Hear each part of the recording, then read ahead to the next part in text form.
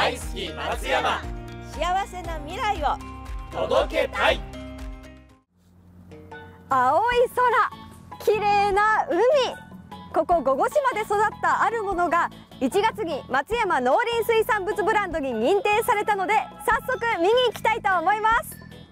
松山農林水産物ブランドとは高品質で安心安全な松山産の農林水産物5つの必須基準と認定の種類ごとの選択基準をクリアしたものが認定されます。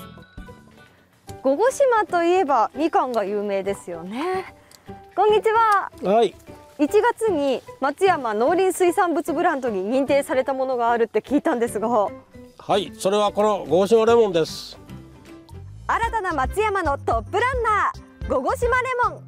わあすごく綺麗この御子島レモンが新しいブランドに選ばれたんですねレモンはもともと育てていたんですか？昔から農家の多くがレモンが乾燥に敏感なため、他に育っている柑橘の園地での水やりの時期の目印として、園地に1本ずつレモンの木を植えていました。先人の知恵ですね。御子島レモンの特徴とは？みずみずしく酸味と一緒に甘みも感じられる美味しさです。旬はいつですか？他の国産レモンの多くが秋から春にかけて流通する中消費者の国産ニーズに応えるため春の最も遅い時期の4月頃に出荷しています。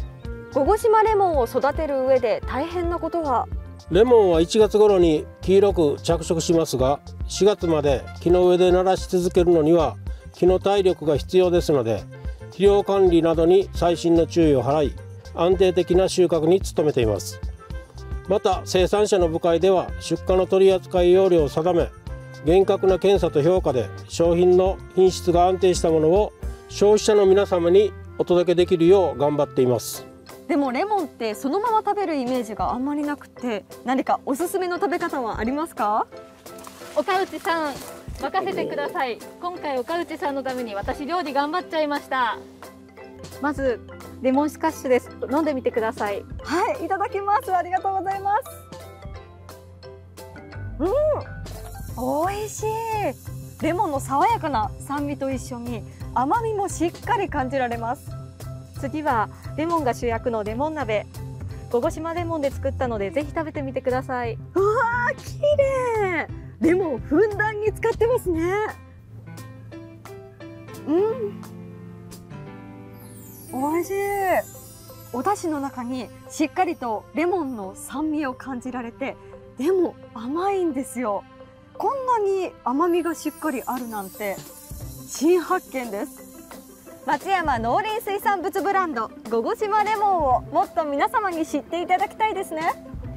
御子島レモンを見かけた際はぜひお買い求めください。ハイと松山俳句ポスト365今週ご紹介する優秀作品は水握るように洗う手桃千鳥。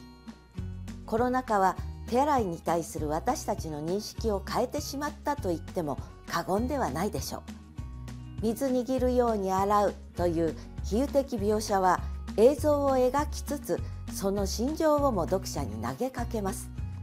水の光を味わうかのように丁寧に洗う手清潔で美しい時間と空間を桃千鳥の光と声が満たしていきます。